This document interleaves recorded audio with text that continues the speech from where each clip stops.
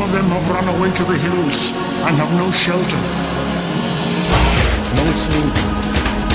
No one knows where they are. Hear me, my chief. I am tired. My heart is sick and sad. I will fight no more.